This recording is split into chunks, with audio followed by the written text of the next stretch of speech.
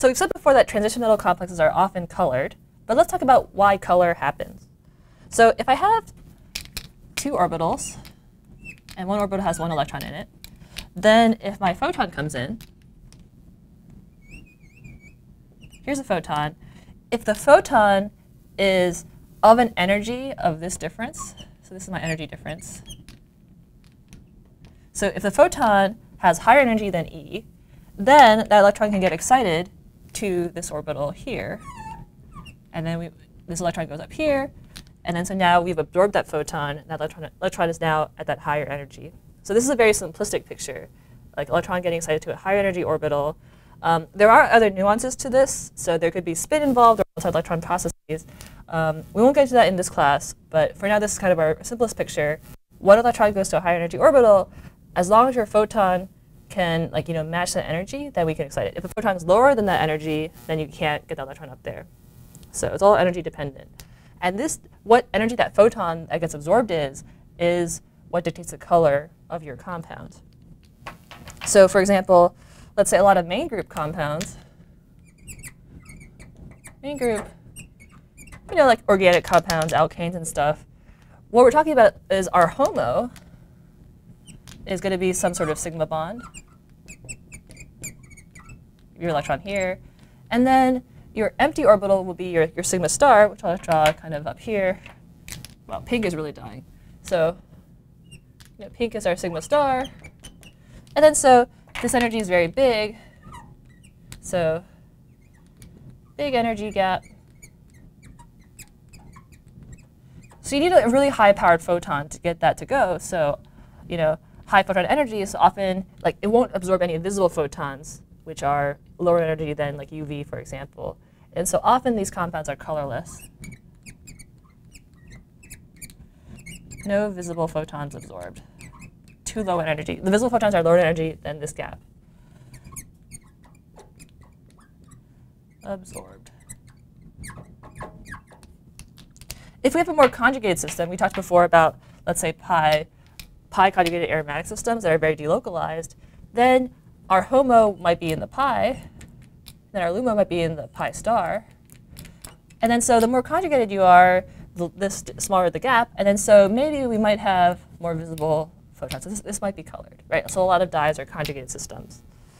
OK, so well, let's talk about transition metal complexes. Um, let's see, let me quickly erase that. I don't like this.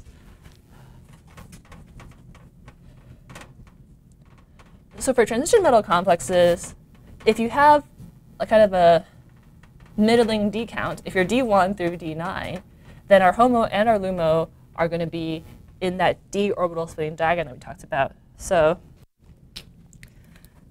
example, let's say titanium 3 plus compounds. So these are all D1. So depending on what your delta O is, delta O dictates color.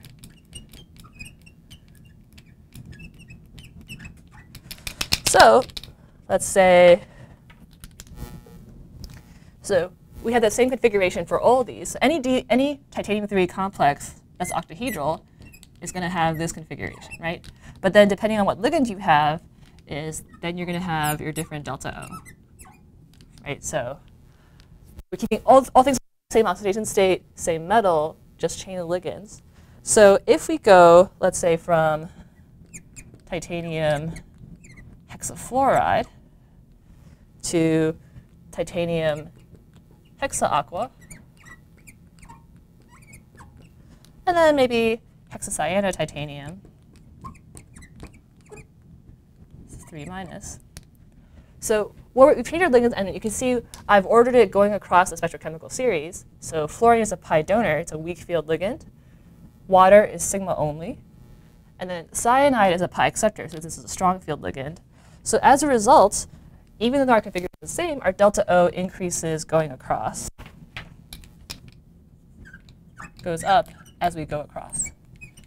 And then so if we look at the wavelength at which this color absorbs, so light comes in, this electron in the T2G orbital can get excited right, to the EG set. That's light absorption for these titanium-3 complexes. So as we go across, the bigger your delta O is, the higher energy that photon must be to get absorbed. And so if we see what these spectra look like, we see one band.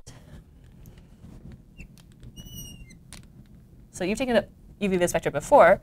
We have absorbance, and then we have our wavelength. So it's this is the energy component, right? So because we know uh, energy equals hc over lambda, right? So the higher energy you are, the lower wavelength you are, and then the, lo the lower energy you are, the higher wavelength you are. So if we want to do a different axis, so wavelength goes this way, energy would go this way. But keep in mind, so again, it's the position of the peak. So as we, uh, our photon comes in, excites that electron across, then we'll get a peak like so. And then so this is your energy, and this will be your wavelength. So it's the x-axis peak position that tells you what your delta O is. The absorption is an intensity of absorption, which we'll talk about in the next video, but y-axis is not the important, y-axis is not the energy component in an absorption spectrum. This is the x-axis, so this is a critical part. So as we measure the absorption spectra of these three different complexes, what we see on the x-axis, again, is that this is 590 nanometers. This is 510 nanometers. And then this is 450 nanometers. So again, what we see is that the, the x-axis position of your absorption peak goes to lower wavelength and higher energy as delta O increases. Right? So again, this goes to smaller wavelength, higher energy, because we're going from here for the fluoride to here for the hexacyano. So if you want a conversion, we can convert to wave number, or we can convert to EV by dividing by 1240 by the wavelength, for example. Okay. And then so this x-axis position, the energy, also tells you what color it is, because this is what the energy of photon that light absorbs. So keep in mind that what you see is what the photons that are not absorbed. So if this absorbs 590, which is red photon, what we'll see is that this color is going to be violet blue. 510 nanometers is a green photon, so we're absorbing kind of green, so we'll see the complementary color, what's, what's remaining. So this is about violet red. And then 450 is a blue photon, so if it absorbs blue, we see red. So overall, this is kind of orange red. So uh, that's color. Um, so again, the key thing to keep in mind, don't get confused. Color is not the y-axis of absorption. It's the x-axis. This is the energy, and this is what we see we're trying to think about delta O. Okay. And let me put a note. More complicated for multi-electron